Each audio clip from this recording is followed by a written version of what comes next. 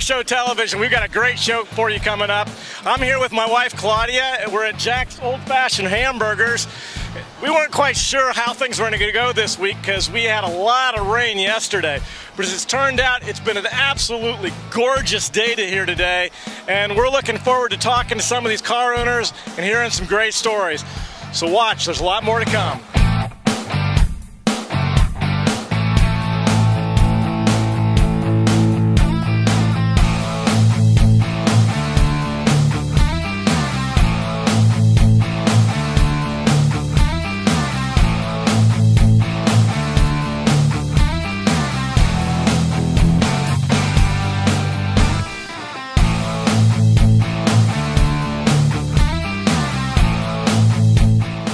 Okay, I'm James Wright. I'm here with the Antique Automobile Club of America, Fort Lauderdale region. We're here at Jack's Hamburgers in Fort Lauderdale, and today we got uh, the manager of the store, Carolyn Littlefield from Jack's Hamburgers, with us. Hi, welcome to Jack's. We are celebrating in July our 41st year of business here at Jack's, and what a great celebration to have all these wonderful old uh, classic cars here with classic burgers, and we're having a great day. The Fort Lauderdale uh, region of the Antique Automobile Club of America, or the AACA as we call it, uh, has been around since 1961. We celebrated our 50th uh, birthday uh, two years ago here. We're 52 years old now. Uh, we have in the range of 120 members. Uh, we do something every month with our antique cars. If you look around here today, you'll see the whole gamut from street rods to uh, to new original cars, to antique original cars. Uh, we do a lot of shows at least once a month. The Fort Lauderdale AACA is active doing something with mystery tours and tours of uh, museums and great places like Jack's Hamburgers where we come and uh, let the public look at our cars and enjoy the good music and good food.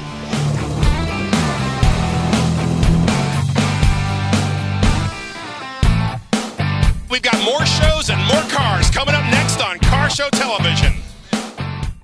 Uh, welcome to Oaks Auto and Smoking Racing of Boca Raton, Florida. Your hot rod shop of the past, the future, and the present.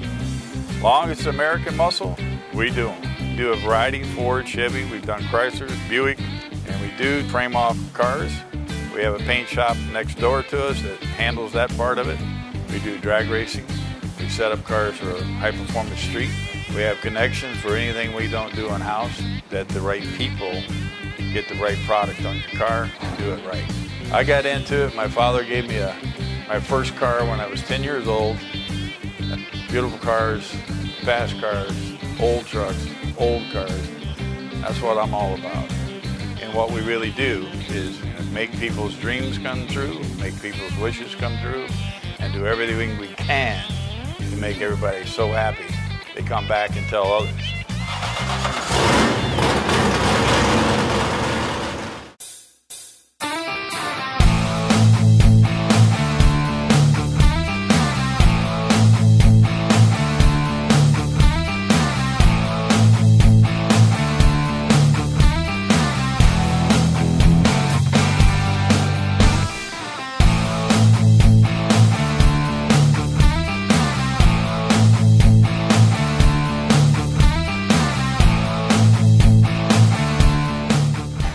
My name is uh, Jimmy Bozek. Uh, I'm originally from uh, Salem, Massachusetts. You know, of course, people know where Salem, Massachusetts is, home of the witches, which probably there's still some there, but now I've been here in Florida since 1975. My, my past experiences was, have been drag racing for about 55 years. I built and drove top fuel cars, uh, injected fuel cars down here in Florida, I drove an alcohol uh, funny car that was on the national circuit. I built this in my garage, built the engine. Uh, it's, a, it's, a, 1934 replica Ford with a big block 440 cubic inch Chevy engine, blown, fuel injected, that develops about 750 horsepower. And then with the uh, with the electronic fuel injection, there's no carburation. It's got a uh, 8-71 BDS street blower and uh, of course it has air conditioning in it and all all the little uh, nuts and bolts have a Chevy bow tie emblems because that's the uh, particular way that I, I want to have people stop and ask questions about this car. to the. The only thing that I didn't do to the car was paint the car. I did everything else.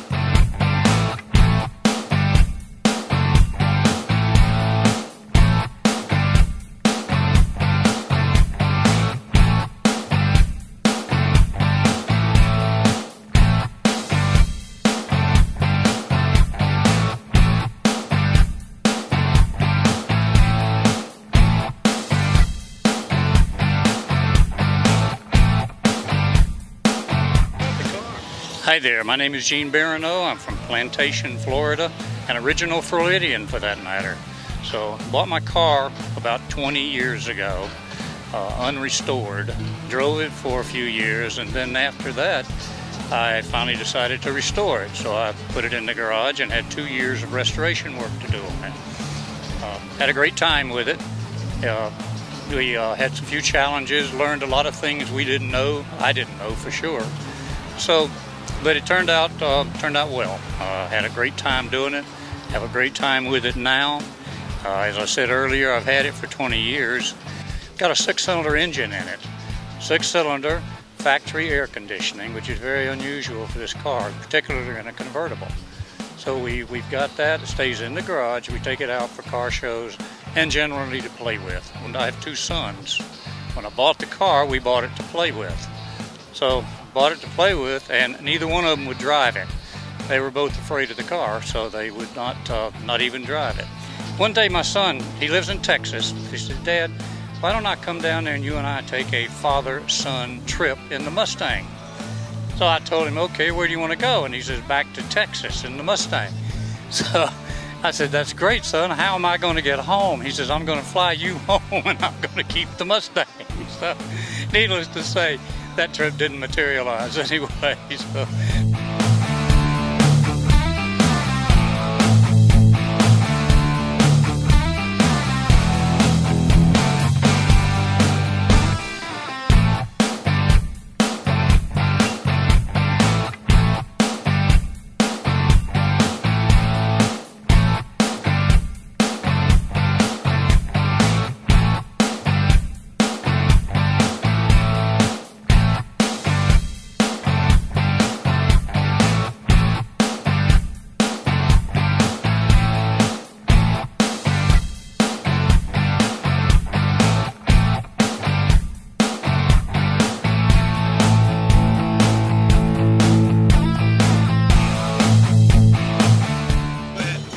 Michael Cohen from Plantation, Florida, and this is my 1964 Volvo P1800. Um, car was actually made famous by Roger Moore in the TV series The Saint. He actually drove a 66, not a 64, but this is quite a unique car. It's got a number of different uh, firsts and lasts, which is why I sought to get this car. Um, I actually had a uh, black 64 when I was a much younger man in New York and got rid of it when I moved to Florida and it haunted me long enough that I finally got another one. Um, these cars were originally built in uh, the UK by Jensen for the first two years of their life, 1962 and 63. Um, throughout the run, the entire steel was pressed steel by Oxford in the UK, even right through till 1972 when they uh, 73 when they ended. These bumpers in the front are referred to as cow horn bumpers. Uh, this was the last year that they produced those. It also has what we call an egg crate grill. It was the last year for that. This was the first year that they did a drop-down back seat for luggage instead of a, a small area. This car is a manual four-speed with an electric overdrive. And this particular car has about uh, 156, maybe 160,000 miles on it between the two clocks, the one in the car and the one in the trunk. Um, there is a gentleman in New York named Irv. He bought his uh, P1800 Volvo in 1966, and he's uh, currently closing in on 2.9 million miles.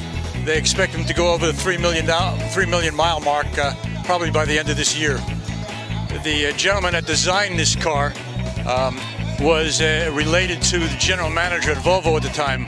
Um, he wasn't supposed to submit sketches on it, and it was a real hoo-ha at the time. He worked for Pininfarina, and he worked for Ghia, and submitted the sketches uh, late and arbitrarily, so to speak. And when they put the uh, sketches in front of the uh, Volvo board, the story goes that he, these sketches outshined everybody else. Um, they seriously considered not doing this car because he was related to the management, but they overcame that difficulty and the car was produced. It ran uh, like this for nine years. The last two years it had a, uh, was called an ES. It had a station wagon type body on the back. It was way ahead of its time as far as design. Um, drives well, moves well. Um, it's just not your average Volvo.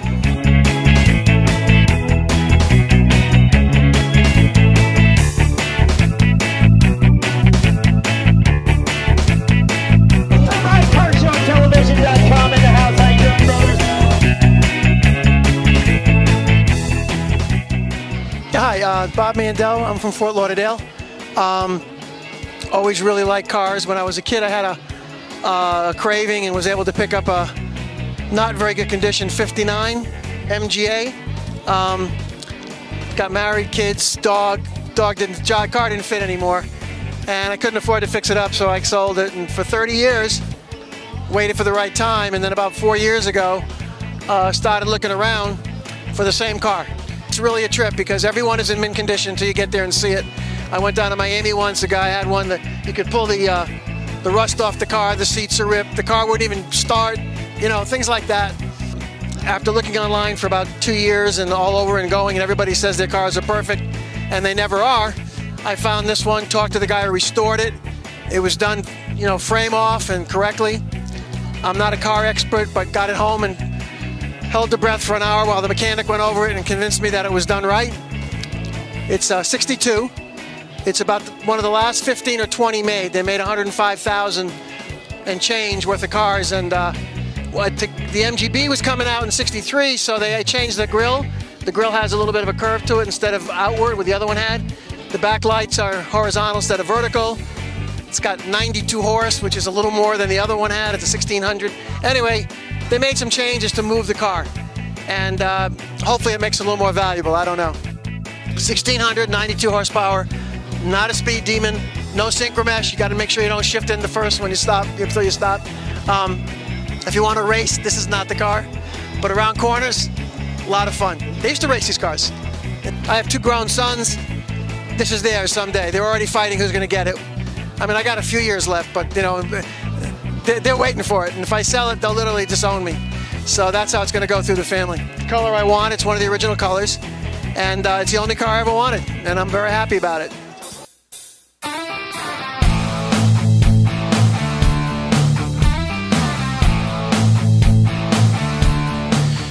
Guys, we are really excited to be coming to you every week on television here in the South Florida area. But if you've missed any of the episodes, just go to our YouTube channel at CSTVFL. The words are right below you on the screen right there. Just that's our handle for YouTube. Or even better yet, just go to carshowtelevision.com. You can see a complete archive of all of our shows that are happening all over South Florida. Don't miss us. Love the fabulous 50s? Then you need to meet Car Show Gene. Car Show Gene has been serving South Florida for more than six years with her event promotions featuring the absolute greatest in classic cars. So whether it's a private event like birthdays or anniversaries or a corporate event for your business, Car Show Gene has several packages available. Serving Palm Beach and Broward County, call Car Show Gene at 561-704-0669 or email her at fab50party at comcast.net. Hello, welcome to Brant's Automotive. We're a general repair shop specializing in antique and classic cars. We do all sorts of repairs. We've been here for 28 years. We've worked on cars from the 30s all the way up to modern and present day cars. And we specialize in personal service to our customers. And we try to do everything in a one day service, in and out the same day so that you get your cars back and you don't have to rent. Welcome to Car Show Television.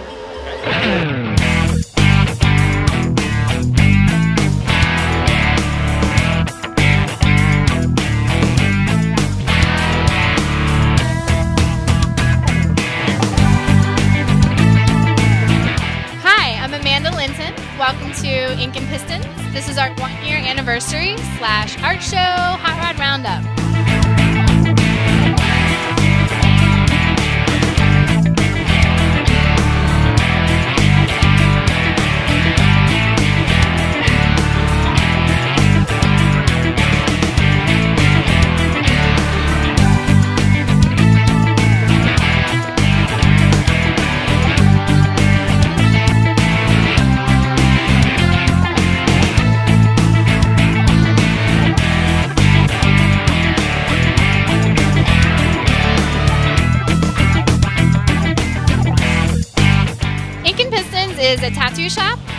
Art gallery. So we do tattoos in the front and art gallery in the back. Usually about every five to six weeks we have art shows um, featuring about 30 artists from all over South Florida, some national from out of state. And we just have a big party. We like to get everybody involved and come out drive your hot rods and buy some art.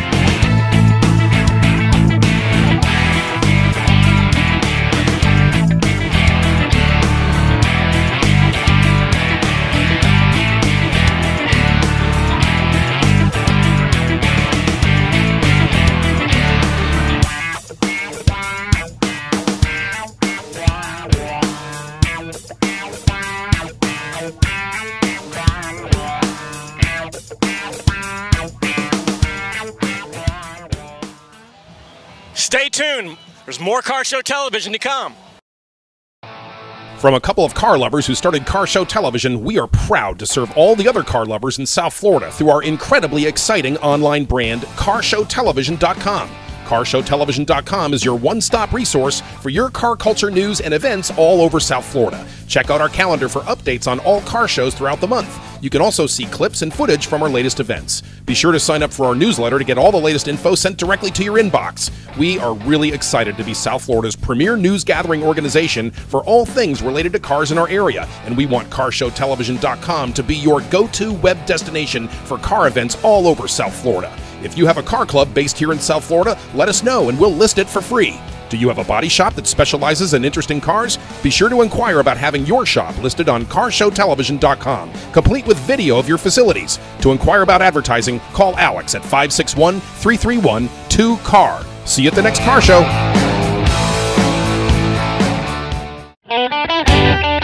Welcome to Car Show Television.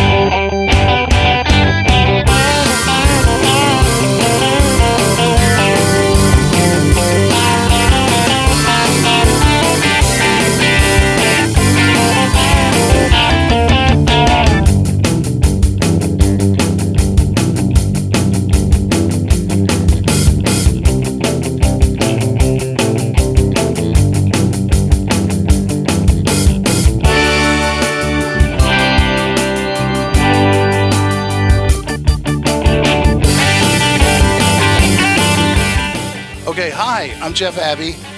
this is my 56 Chevy Bel Air. It's the first uh, old car I've ever owned. Uh, I don't know why I got the hankering for it. I've always loved old cars and I like to work on them. And when I was younger, I got the opportunity once in a while to, to do that.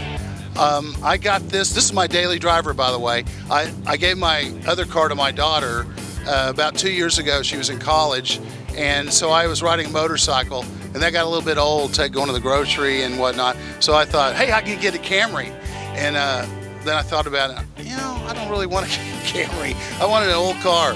So uh, I looked around and I found this one in uh, Napa Valley in California. It's a car built in LA. It lived most of its life in Arizona. It's a 1956 uh, Chevy Bel Air. It was, quote, oh, the top of the line at the time. Uh, it still has its uh, manual steering with a big wheel, which I kind of like, and it's got the old-time seats, so you can put your arm around your girl, whatever. But then the guy did some crazy stuff, like he put about 800 watts of audio power in it, a subwoofer, and all this stuff I don't really use, but it's there if I need it. And then he uh, did uh, put AC in it and electric uh, windows. It's got powered brakes with disc. Uh, it's a 350 with a four barrel El, uh, Edelbrock carb. It's uh, got headers and when I got it, pretty much nothing worked. The air conditioning didn't work, the windows didn't work, they were electric, they didn't work, the radio didn't work, name it, the horn, everything. So I was, I was a little bit frustrated, but then I thought, hey, I want a project. What can I do? You know, uh, and it was kind of fun.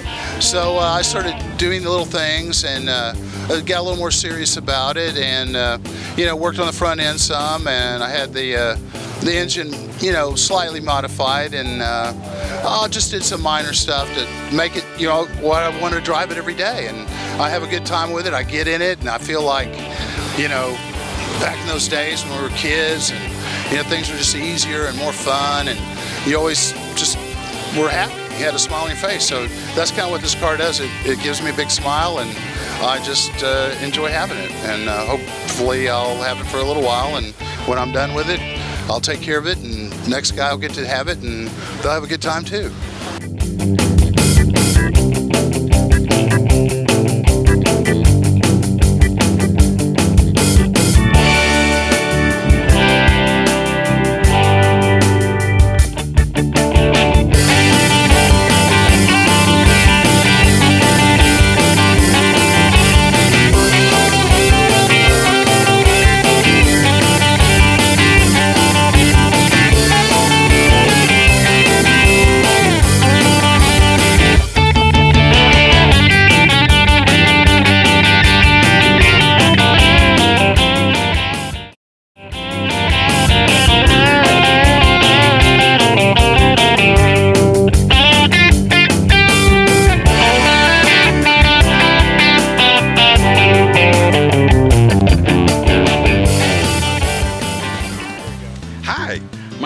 Larry Coe, and this evening we're featuring a 1957 Bel Air convertible, and uh, it's got 15,000 original miles.